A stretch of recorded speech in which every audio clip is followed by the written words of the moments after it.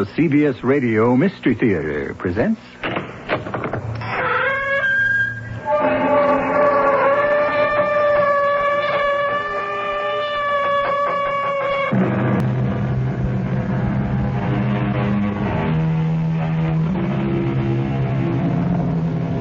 Come in.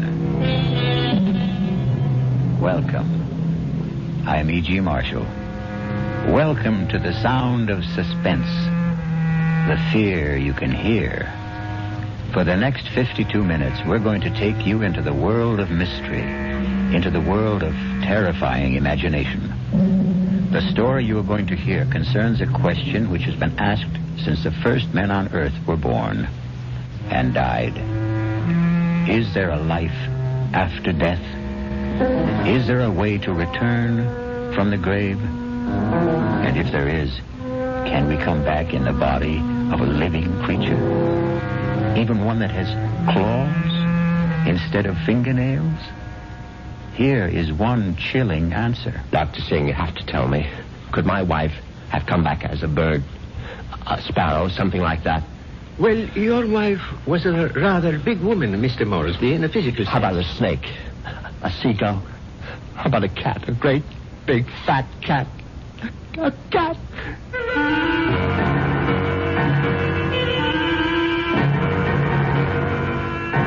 Mystery drama, The Return of the Moresbys, was written especially for the Radio Mystery Theater by Henry Slesar and stars Patrick O'Neal. I'll be back shortly with Act One.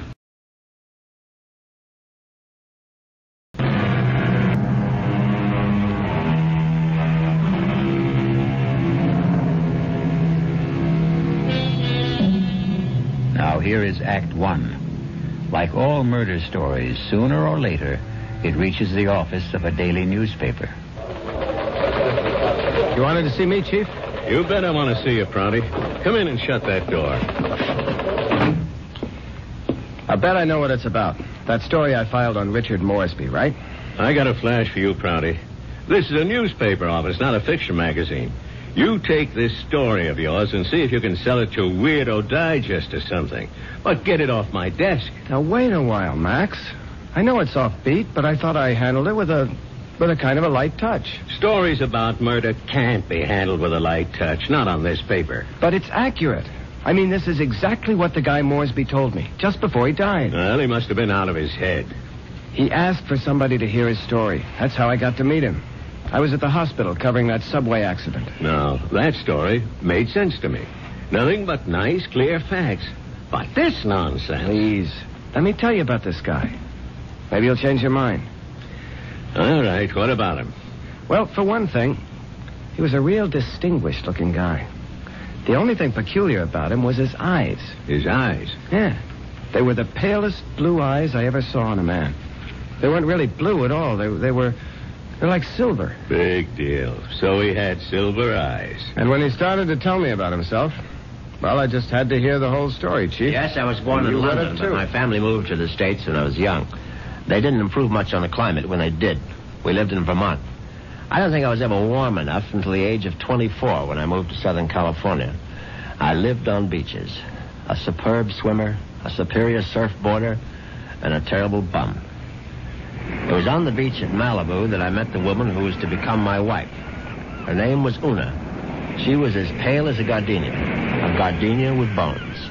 Una had more bones than any other woman I've ever met. Lovely day, isn't it? I beg your pardon? I said it's a beautiful day. I don't think I've ever seen the ocean look prettier. Frankly, the Pacific always looked a little muddy to me.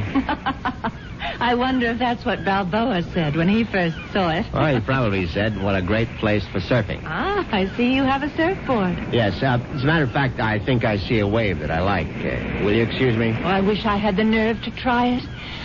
Yeah, you really should. Well, bye now. Maybe I'll ask my chauffeur to teach me. I'm sorry. What did you say? Charles, my chauffeur. He's very good at sports. Show. Uh-huh. uh, you know, come to think of it, that wave doesn't look so good after all. Uh, uh, by the way, my name is Richard. Richard Moresby. How do you do? My name is Una.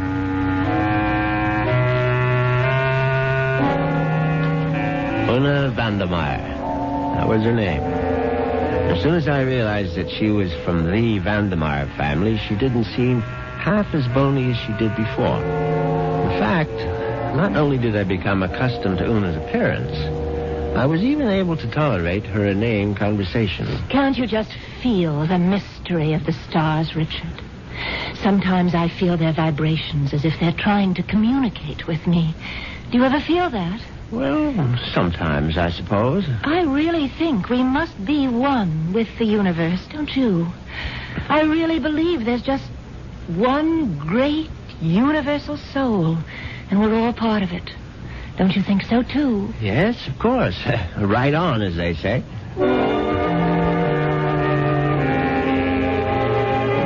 You see what I mean? She talked that way all the time. From the first day of our honeymoon. Well, it was a, a fine honeymoon just the same. It lasted a whole year on the beaches of the Caribbean, on the French Riviera. I got browner and browner. Una got freckles. Finally, we returned to our home in Los Angeles and settled down to a quiet, comfortable marriage.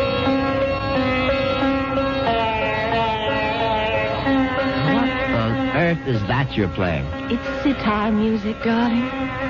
Oh, it's just so spiritual.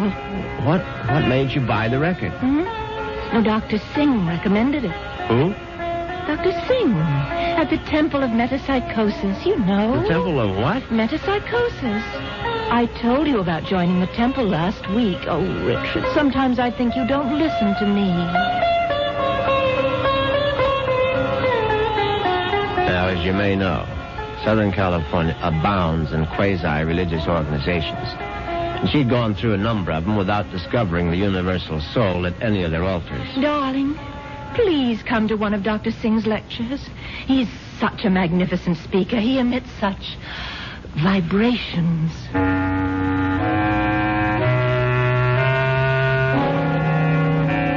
And I went. You see what an obliging husband I was? Actually, it turned out to be more interesting than I thought. The temple itself was unpretentious, and Dr. Singh was an impressive man. And when he spoke, I realized why his message had such appeal for Una, because he preached a doctrine that combined eternal life with a love of small animals. The soul is immortal. The soul cannot die. The soul, upon leaving the body, must make its passage elsewhere. There is a science called eschatology, which deals with the last four things death, judgment, heaven, and hell. It is the most ancient of all sciences, and from its wisdom has come the inescapable certainty of the transmigration of souls. Yeah, yeah, I know it's a bit weird, but stay with it. And where does the soul go? According to the wise men of all generations past, the soul departs from the mouth of the dying. It is consequently a small thing. A bird, a snake, a mouse, a dove, or a hawk, a dog, a cat, an insect. For these small creations of God are empty vessels placed upon earth for only one purpose to house the departing souls of humanity so that they need not wander forever in a trackless eternity. Yeah, yeah, it's pure rot, of course. But that's what the man said. And Una sat there and believed every single word. Oh, wasn't he marvelous, Richard? Isn't it wonderful that the soul never dies? That we can all come back as little animals? I'm not sure I want to come back as an animal. But you'd still be you, Richard. Oh, don't you see? Mm-hmm. Well, oh, by the way, what uh, what was that envelope you handed Dr. Singh after the meeting? The envelope? Oh, that was my donation, of course. Your donation to the temple? Yes, to support the work of Dr. Singh, to open other temples around the world. Uh-huh. Well, um, how, how, how much money was in the envelope? Now, what does it matter, Richard? I'm just curious. Two thousand dollars. Two, two, Una, Una, you go to that temple once a week. Do you always give that kind of donation? Oh, it's all in a very good cause, Richard. Well, in an equally good cause, that of finding out exactly how much of my wife's money was supporting this nonsense, I sneaked a look at Una's checkbook. The answer astonished me. Not only had my wife put more than $30,000 into Dr. Singh's collection plate, she had also donated some 20,000 more to various institutions for the care and feeding of cats, dogs, and birds. It was so kind of you to honor us with a visit, Dr. Singh. I know how terribly busy you are. On the contrary, you were kind to invite me to your lovely home. Oh. Now tell me, Dr. Singh, what determines the kind of animal one becomes when the soul escapes after death? Ah, Mrs. Moresby, that is a question which has baffled wise men for countless generations. But isn't it possible to do, well, research? Yes, Mrs. Moresby. I don't doubt that we could find the answer to such great questions if only we had the proper resources. But unfortunately, that would require money. A great deal more money than the movement has at present. Well, it seems to me you don't do badly.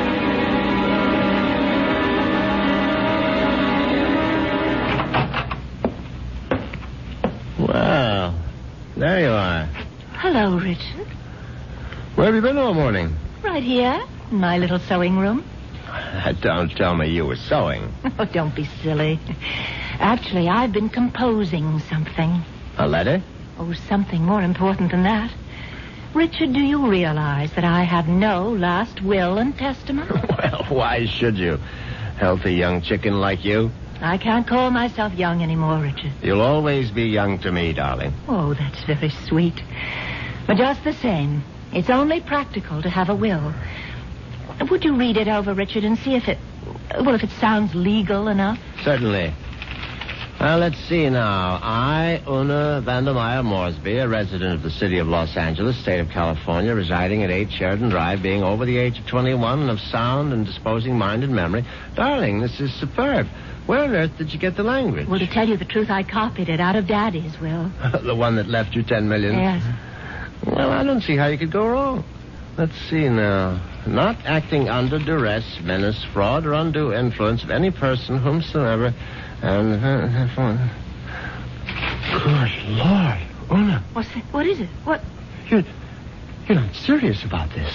Oh, about making a will? Well, of course I am. I, I mean, this this bequest to the temple of, of, of mumbo jumbo. What's wrong with it? Now listen, darling. I told you how important Dr. Singh's work is, but it requires money to carry it on.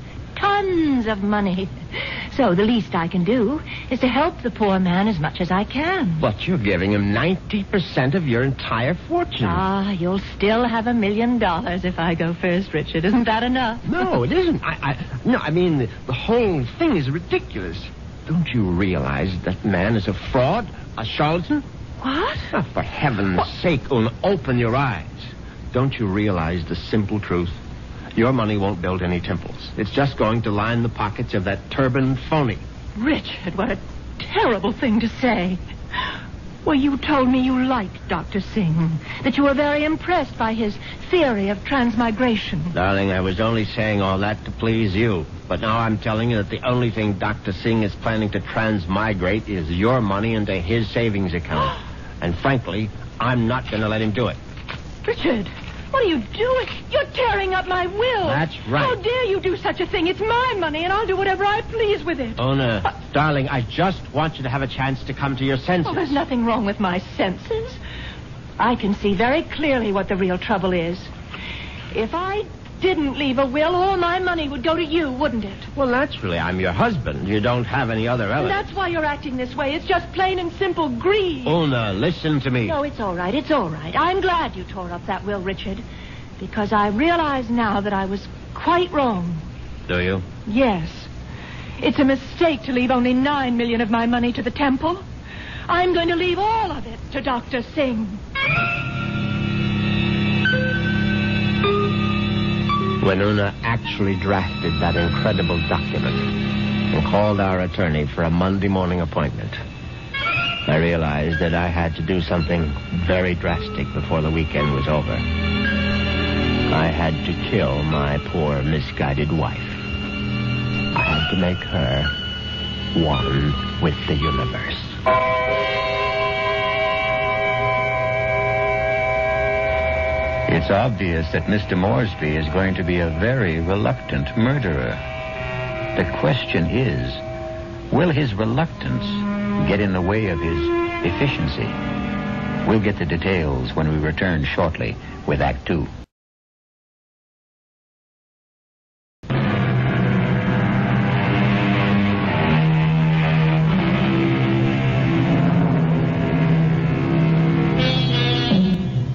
Return to Richard Moresby. In order to find him, we'll have to search the highway, for Richard has taken his white Jaguar out for a spin. But there he is now. On Saturday morning, I took a little spin in my XKE and did some thinking on the open road. I didn't want to kill poor Una, of course. The whole idea was repellent. But on the other hand, the thought of Dr. Singh spending the fortune that was rightfully mine was even more abhorrent.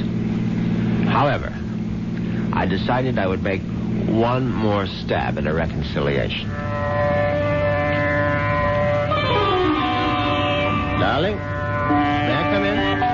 It's your living room, too. It doesn't feel like it. Matter of fact, I've felt like a stranger in this house for the past two days. I suppose that's my fault. Well, you haven't been exactly cordial, have you? I've hardly been home, Richard. I spent all day yesterday at the temple and all morning at the pet rest kennels. And how are all the little souls doing? You just won't stop being irreverent, will you? It's been my money all along, hasn't it, Richard? From the very beginning, you were attracted to my money. Well, now, darling, if you thought that, you would never have married I me. didn't want to believe it. I don't want to believe it now. Well, now, how, how can I prove to you that you're mistaken? Richard, do you really want to prove it? Of course, I'll do anything you say. All right. Now I know exactly what you can do. You can let me leave my money to Dr. Singh and the temple. The whole ten million? Yes, because that's the only way I'll know that it's me you love.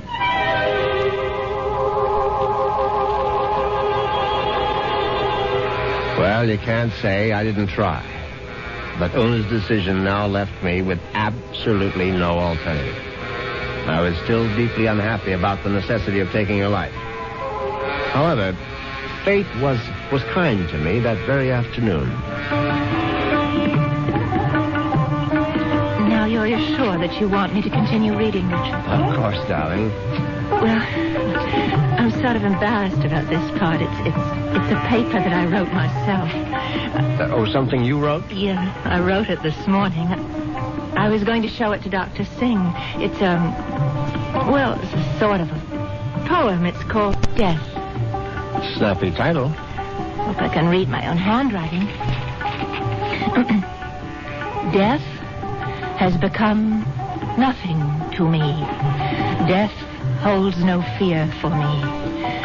Come, death, I welcome you. Lead me to the woods, the waters, the air above the earth. Come, take me, death. Your touch is kind. Richard? Oh, Richard, why do you look like that? Is it really that terrible? Oh, terrible. Oh, no, no, no, my darling, it's it's beautiful. You mean it? You must give it to me, Una. I, I must have it. You like it that much? I, yes, I certainly do. Oh, oh, well, I- I'll type it up for you, Richard. No, no, no. I, I, I must have the original. Now, just, just the way you wrote it. Oh, darling, I'm so flattered. What will you do with it? Oh, I'm, I'm going to, I'm going to put it in a frame, of course, and I know just where I'm going to hang it.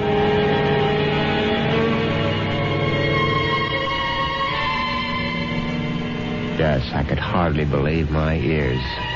Una had written her own suicide note in her own handwriting. It was truly karma at work. Now there was no question of failure, and no longer any need for delay.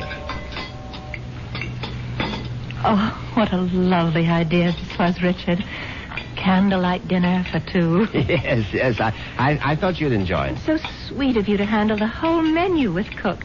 You spoil me shamefully.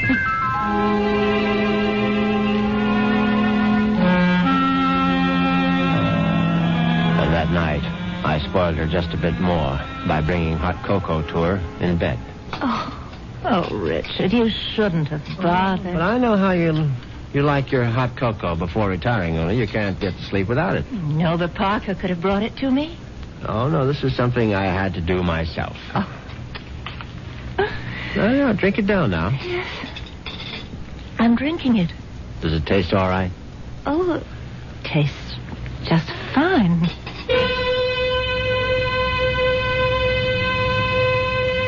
Now, that was very good news, because I'd prepared the hot cocoa myself.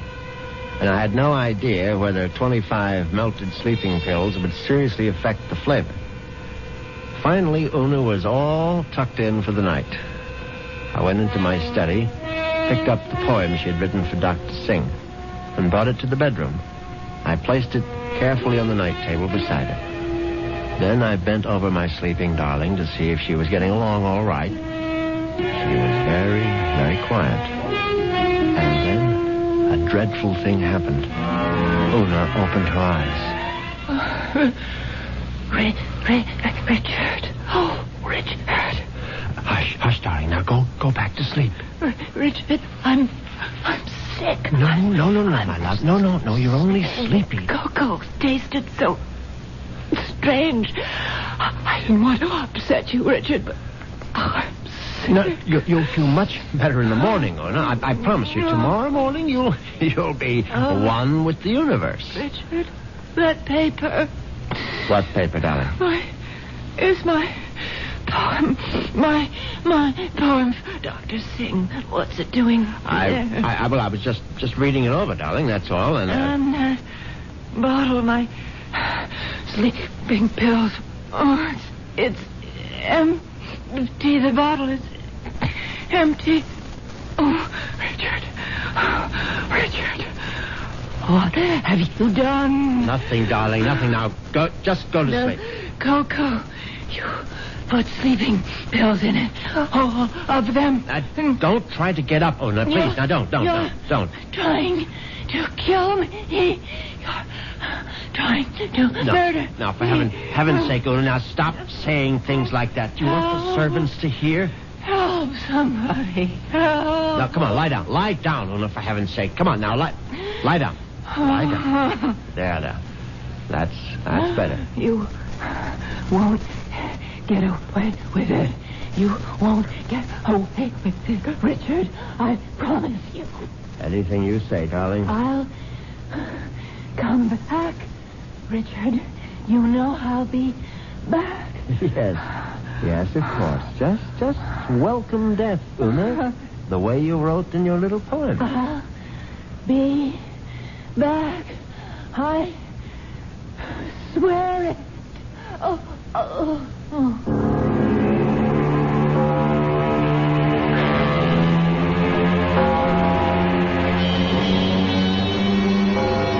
funeral was held two days later. It was a magnificent occasion, of course.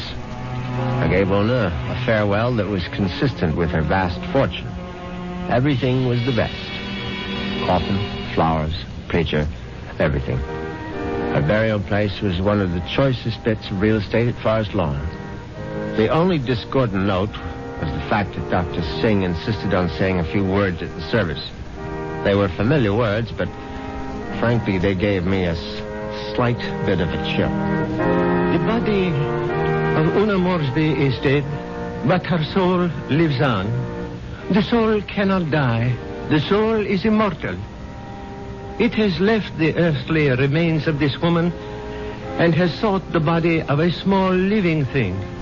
There it will abide until the Almighty is ready to choose its next home. Mourn not the end of Una Moresby, for there is no end. I couldn't help congratulating myself on how well everything had gone. When I called for medical attention the night of Una's death, the physician was only too ready to declare her a suicide. The police had to be informed, naturally, and they too agreed with the doctor's verdict. Una had died by her own hand, and she had died without a will. There was simply no question that the matter would be probated in my favor. Suddenly I realized I was not only rich, but a rich widower. What vistas open for me? What the devil? Look out, you stupid mongrel! The dog trying to get run over. I admit I was shaken up by it. I mean, it was sort of a coincidence, you know? Right after the funeral and, and all that.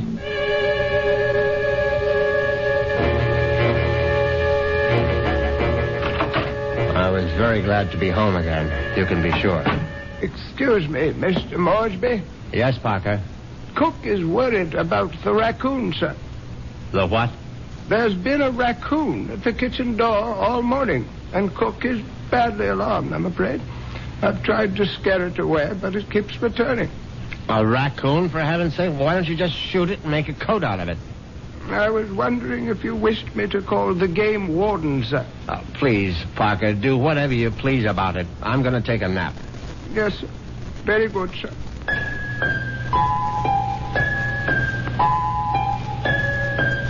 Upstairs at once, undressed, and got into bed. It was a warm day, and yet, yet I found myself cold. I got out the electric blanket and soon felt very cozy indeed. In fact, I felt so much better that I made a phone call.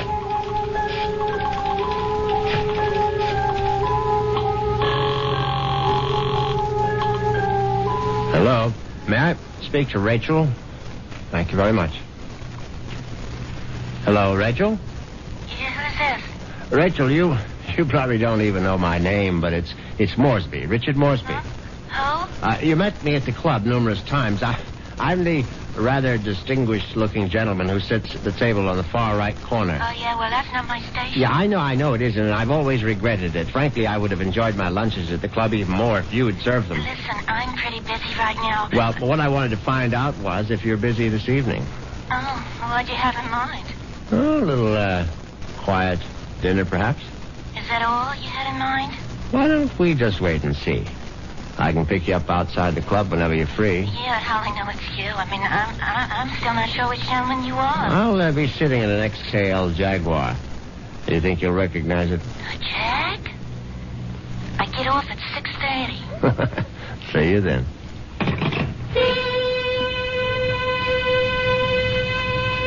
Yes, I was feeling very good now. Very good indeed.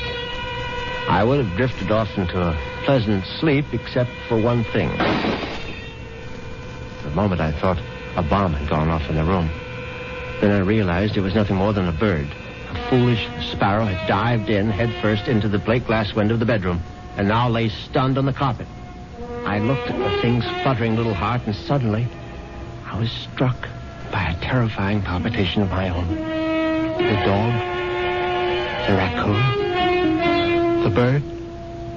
Good Lord. Could one of them have been Una?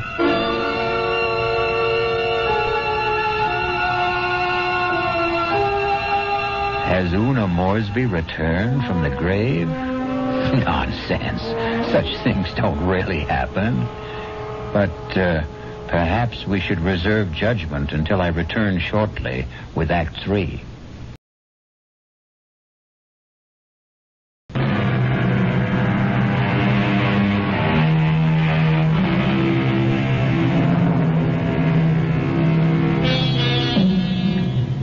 Let's see if common sense has returned to our hero. He's doing a sensible thing right now. He's taking a good, refreshing shower.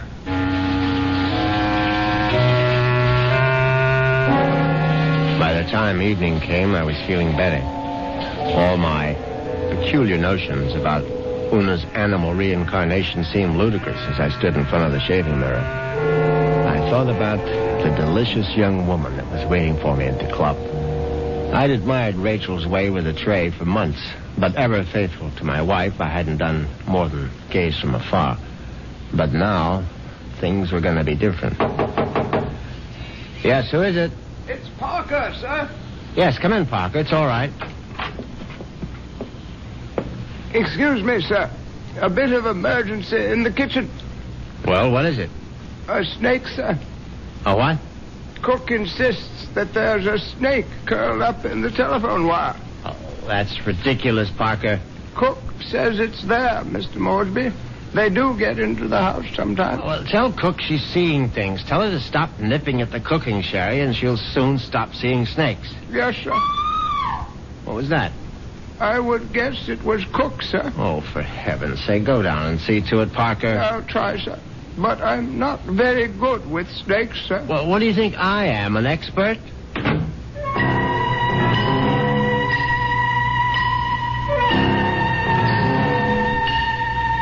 But that wasn't the end of it. Ten minutes later, Parker was back upstairs saying that snake had left the kitchen and run into the living room. No, I, I suppose snakes don't run, they slither. It slithered into the living room and was now embracing still another telephone wire, obviously mistaking it for a long lost love. But then, another, another unsettling thought came into my mind. What if the, what if the snake? No, no, that, that was ridiculous. Hello? Hi.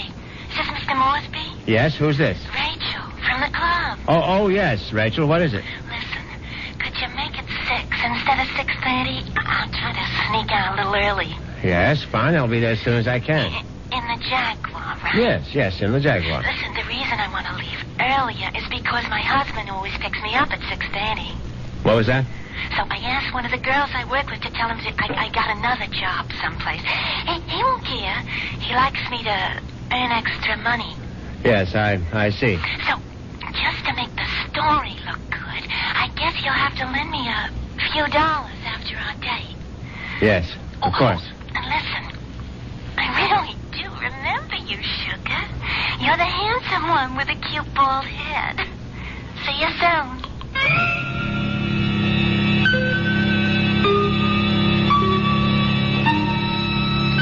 As it happens, I have a very full head of hair. But distressing as Rachel's telephone call was, an even more disturbing thought intruded. The snake was in the telephone wire. What if the snake had been trying to listen in on the extension phone? I, I, I knew the idea was absurd, but I, I couldn't help a superstitious shiver of dread. In fact, I was so troubled that I, I decided to forego my date with Rachel, the waitress. It, it, it wouldn't matter anyway. She, she'd be angry at some man at the club with a cute bald head. The next day, I, I did the only thing that really relaxed me. I went to the beach. It proved to be an excellent idea. I stretched out on the golden sand and let the sun warm me. I listened to the waves beating against the shore. I listened to the haunting cries of seagulls circling overhead. Suddenly I was aware that the gulls which had been hovering over the water were now hovering over me. Now, instead of their cries being sad and plaintive, now they now they seemed menacing. I, I stood up hastily, but the gulls seemed to be increasing in number. I saw their sharp, pointed beaks, their raking claws. They were predators, of course. How many times had I seen them swoop into a dive and snatch up some poor fish out of the sea? And there was one seagull in particular. Its beady eyes seemed to be staring at me.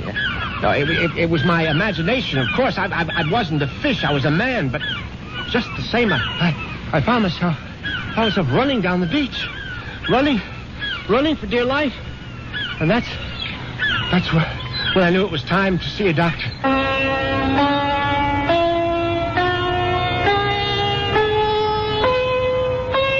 Yes, Mr. Moresby. I'm very pleased that you honored the temple with your presence. I'm grateful that you're willing to see me, Dr. Singh. I realize that, well, you, you've had a disappointment. A disappointment? I'm afraid I don't understand. I know my wife made certain promises to you concerning her will. I believe she mentioned some modest donation. She wasn't in her right mind, of course. I mean, when she took those sleeping pills. Yes, it was very sad. I trust that she has found the peace and happiness that she sought.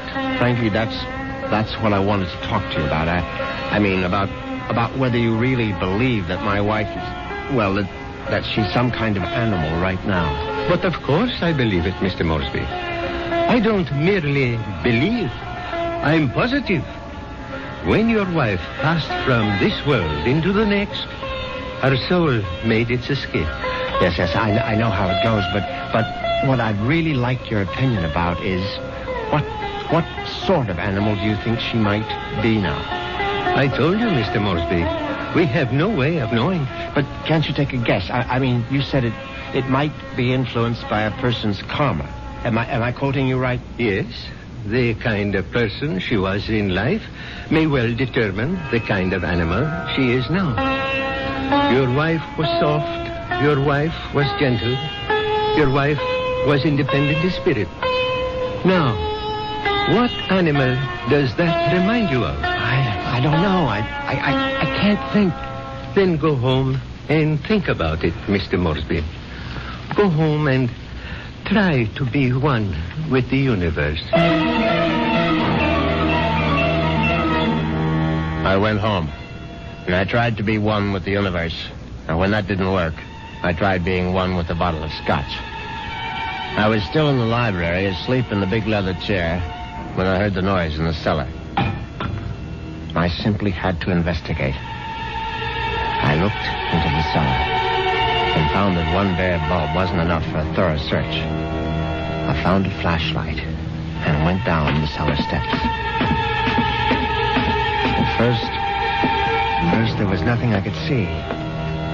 But then, there's an empty oil can. Swiftly, my, my flashlight picked out the culprit. At first, I, I, I, I thought it would turn out to be a mouse, but instead, instead, it was a large, white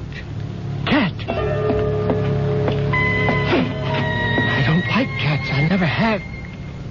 Skulking, cynical creatures. When the beam of my flashlight hit it, the cat froze. I saw it was an alley cat. Its its fur shaggy, its its eyes baleful in the light. It was fat and yet it was bony too. I I said scat, but it didn't scat. Instead, it started to walk toward me. And I knew for certain what Dr. Singh had meant. I knew for certain I was looking at the reincarnation of my wife. As soon as that hideous apparition howled at me, I, I made a cowardly dash for the cellar door. Once, once I was on the other side, I remembered the hunting rifle that Una had given me for Christmas. It, it stood unused in an upstairs closet. I, I, I found it. I loaded it brought it back to the cellar. I hadn't fired a rifle since boyhood. I, I stood on the top of the stairs with my flashlight picked out the ghostly white form of the cat. I put down the light, raised the weapon, and squeezed the trigger. The report was deafening, but the recoil was worse. My precarious balance on the top step was lost. I fell to the bottom.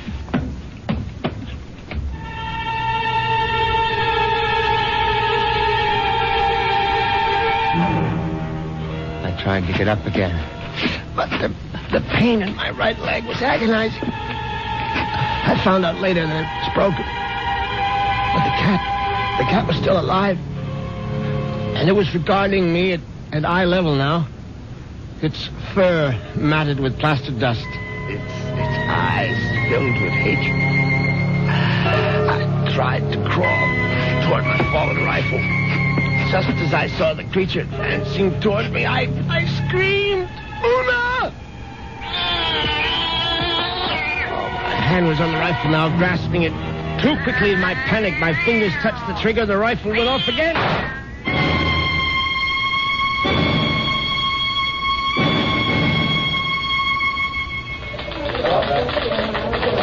Well, that's how Moresby ended up in the hospital, Chief. With a broken leg and a bullet in his hip. And then he died. But I think he was telling the truth. You could see it in his eyes. His silver eyes, right? Yeah, his silver eyes. And you really believe that the guy's wife came back as a cat to get her revenge? What does it matter? It's still a good story. Sorry, Prouty, I can't okay it. Well, what if I got more details? What, what, what if I talked to this Dr. Singh? If I went to the Moresby cellar and found that cat? And what would you do then? Ask her if she's Mrs. Moresby? I still think it's worth a try, Chief. I'll tell you what, Prouty. What are you doing for lunch? I hadn't thought about it. Well, think about buying my lunch. You? There's a pretty good restaurant right around the corner where the Moresbys lived. Now we can get a bite there and then check out that cellar.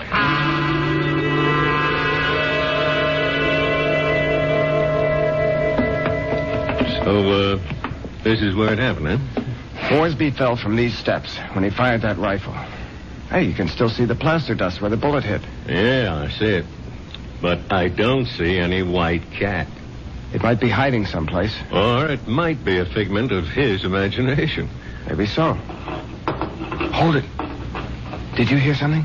No. Listen. There it is. Look. Hmm. It's a cat, all right. And it looks like it just found its supper. Oh, that mouse is still alive. Yeah, but not for long. Look at it squirm. He's eating it. Yep. And there goes your mouse. Oh, my God. What's the matter, Prouty? Never see a cat eat a mouse before? Chief, did you see that mouse? Sure, I saw it. But didn't you notice something? Like what? Its eyes. Chief, did you ever see a mouse with eyes like that? They were so pale blue, they were almost silver.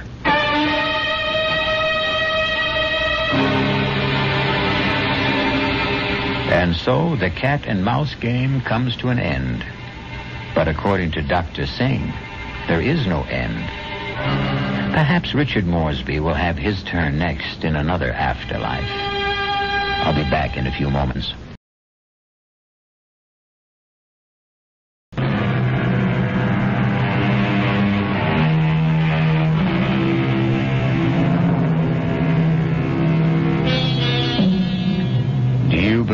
In reincarnation? Do you believe the dead return? We have to believe it because here we are, the reincarnation of radio drama. We hope you'll keep us alive by listening again to the Radio Mystery Theater. Our cast included Patrick O'Neal, Marian Seldes, Nick Pryor, and Dan Ocko. The entire production was under the direction of Himan Brown. This is E.G. Marshall inviting you to return to our Mystery Theater for another adventure in the macabre. Until next time, pleasant dreams.